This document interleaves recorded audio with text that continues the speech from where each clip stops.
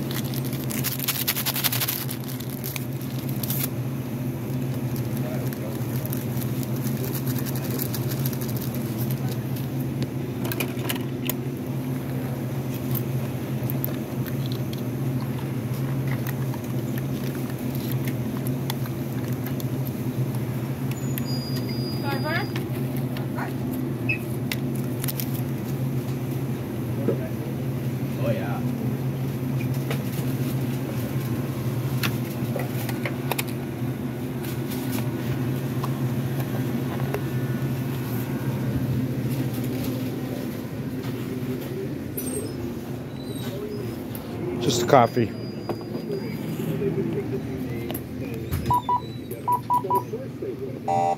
Oh.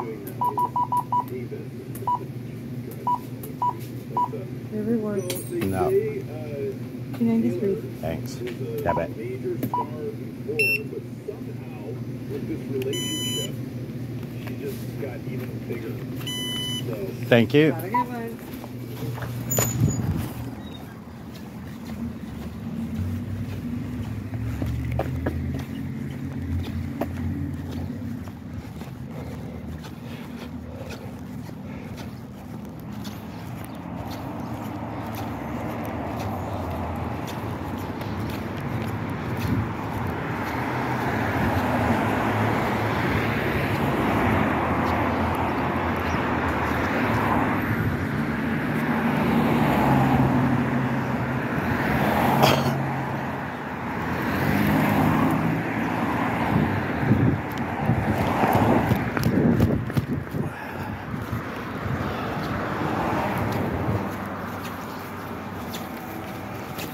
Thanks for watching, guys.